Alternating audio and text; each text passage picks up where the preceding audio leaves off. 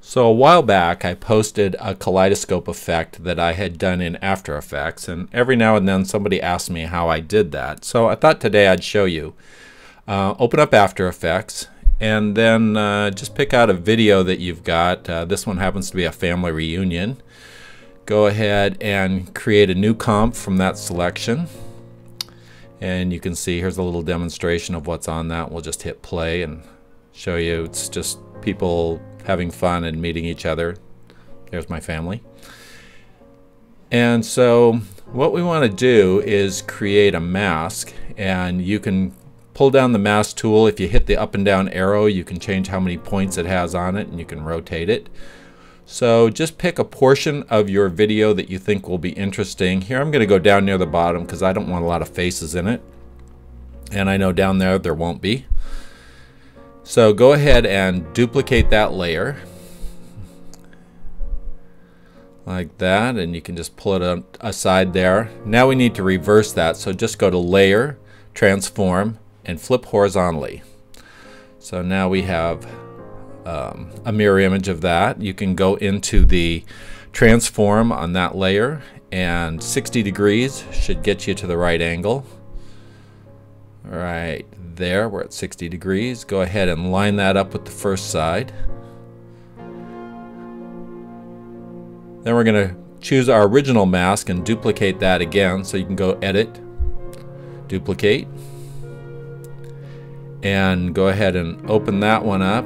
And we're going to Layer, Transform, and Flip horizontally. So we get a mirror image of that one.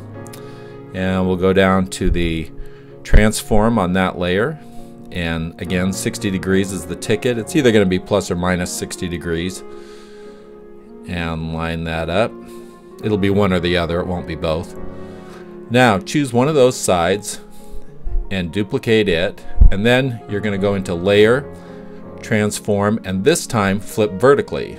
And that'll throw one over there. Go to the other side duplicate it edit duplicate then we're going to layer, transform, and flip vertically. And then pick the original mask, duplicate it, then hit layer, transform, and flip vertically. Once you get to this point, you can adjust these around a little bit. You can see a little crack in between some of them, so you can just finally nudge them into place so that there are no gaps in between. A little fine tune. Then if you go ahead and play it, it'll take that original mask and play in uh, it'll play what's in the original mask and the mirror images of it playing all around that. Uh, so I'm just gonna close each one of these and I'm gonna grab my original footage and you can put it in the background. I've done this before where I've just made that a little bit transparent and had it playing in the background but this time I'm gonna scale it down because I want you to what I want you to be able to do is see where the information is coming from. So see that plate in the bottom uh, left corner? That's pretty much the area. You're seeing that, uh, that guy's shirt and the plate in the bottom. So everything in that little bottom triangle is what's going to show. So we'll just hit play.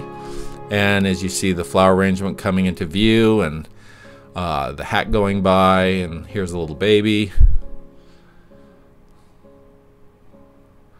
So I'm just going to go ahead and let this play a little bit. You can see how it works and uh, hopefully try it on your own. Thank you very much.